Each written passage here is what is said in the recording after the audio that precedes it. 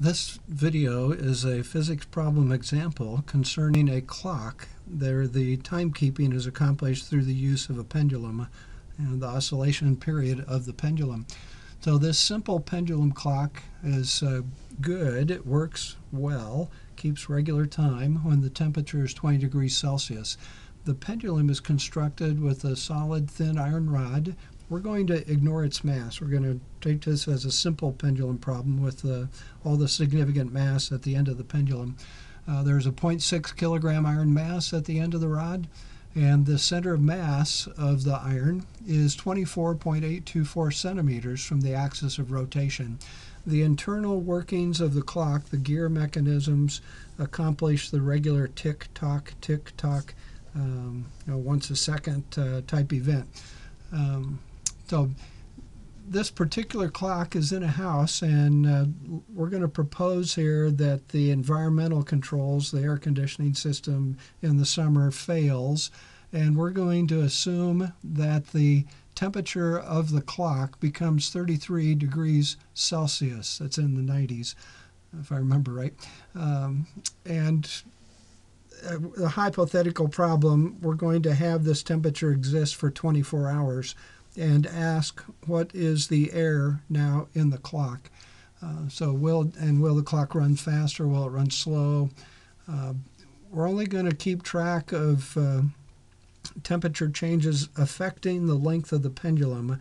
I'm going to ignore any effect on the gears. I don't know how I would calculate that. So we're only we're attributing all this temperature change to the physical effect of expansion as the temperature increases uh, the length of the pendulum becomes greater. So then we're going to repeat this, and we're going to do uh, the case where the original length of the pendulum is 6.206 centimeters. And uh, it's not a completely random number. I've divided by 4. Uh, hopefully I divided correctly. I've divided the original length by 4. And then we're going to draw some conclusions, and I'll have a general uh, derivation here. Um, so let's uh, get started with this. So the period of a pendulum is t. That's calculated with 2 pi times the square root of the length divided by the acceleration due to gravity. The length changes with temperature. Uh, it's the original length, L naught, plus a coefficient alpha based on the material, an expansion coefficient, times the original length L naught, times the change in temperature in Celsius. And for iron, you can look up in a table, the value of alpha is 12 times 10 to the minus 6 with units of 1 over degrees Celsius. So on the left, I have my pendulum, length L, swinging back and forth. Uh, we're going to you know, round off G just a little bit here, 9.8 meters per second squared. So what's the happening here? Well, at the temperature of 20 degrees Celsius, I can calculate the, uh, the period for this pendulum. So I put in in meters, 0.24824 meters divided by 9.8 meters per second squared.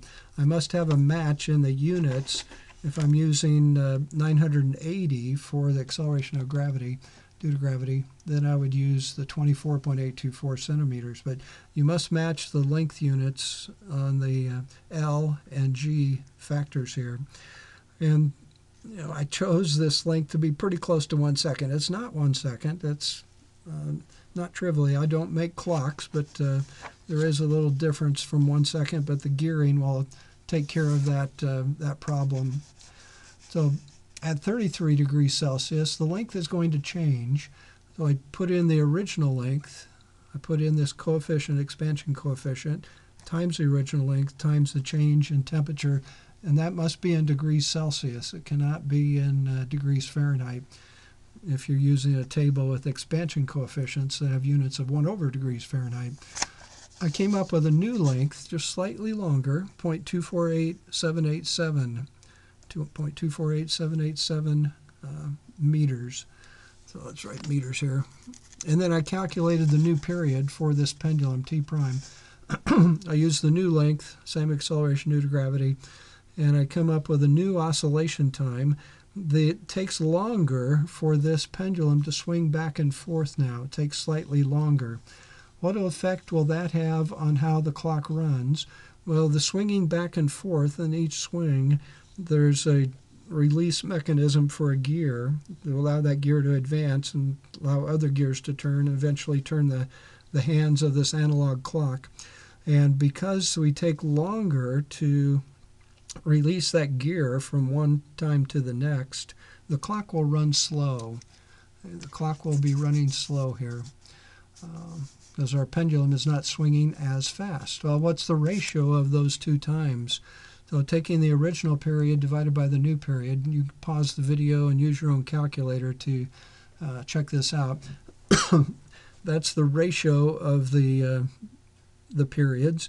If I multiply this by 24 hours, I will get how much this slower clock has advanced in time. And it has advanced 23 hours, 0.998198. If we want to convert that to minutes, first you would subtract 23 multiply the remainder by 60, and you'll get 59 point dot dot dot. Uh, subtract 59, multiply that by 60, and you'll come up with this hours, minutes, and seconds. And the clock is slow by seven seconds. Not not a major issue. Um, okay, that's fine. What about the case where the pendulum is shorter? And I'm not going to show the detailed calculations here, but uh, suppose we start with 6.206 centimeters. When we go up to the higher temperature, uh, instead of 0.06206 uh, meters, we come up with 0.0620697 meters. And the original uh, time for this shorter pendulum is different. It's not one second, but 0.5 seconds roughly. You shouldn't be surprised at that. The length changes by a factor of 4. We're going to take the square root of the length here, so the times are related by a factor of 2. Square root of 4 is a factor of 2. Um, but for the original length, do the calculation for the longer pendulum due to the higher temperature. Take a ratio of those times, and what we come up with is that the ratio is the same as before. Uh, the ratio of time is 0.999220009, same as before. That's the reason I kept all these digits to show that it's the same. The length of the pendulum doesn't matter as far as calculating how much delay there will be in the system. And I can show that a little better if I uh, deliver this page.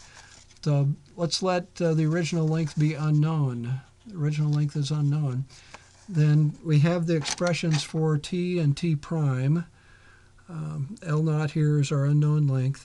If I divide those, what you see happening here is the square root of L naught over G divided by L naught plus alpha L naught delta T over G. There's an L naught in each term that's here. So those L naughts are going to cancel eventually after I first cancel the G a little clearer to see the L naughts when we get rid of the G factor. Um, but over here we have L naught divided by L naught plus alpha L naught delta T. You can see the L naughts go away. So the amount of uh, change in the period, this ratio number, uh, does not depend on the original length. This will work for any length. And if I put in the alpha number here, 12 times 10 to the minus 6, and the delta T of 13 degrees Celsius, I do this calculation, you should repeat it yourself, but you come up with the same ratio number that we had earlier. So that's what happens when we uh, let the uh, pendulum of a clock uh, get longer because the temperature changes. The clock runs slow, not a big deal for one day, but if this was uh, continuing for a long time, if you took a pendulum from a cold region of the earth down to the equatorial region of the earth, um, after a few weeks, you would notice this uh, difficulty of clock being in error. if you like these videos, uh, you can look up for more of them, physics and astronomy, at these two websites. You'll see a list of videos and uh, the, they're a direct link to the YouTube uh, site, so easy access. There's free, no registration. And if you like the YouTube videos, please uh, subscribe to my channel.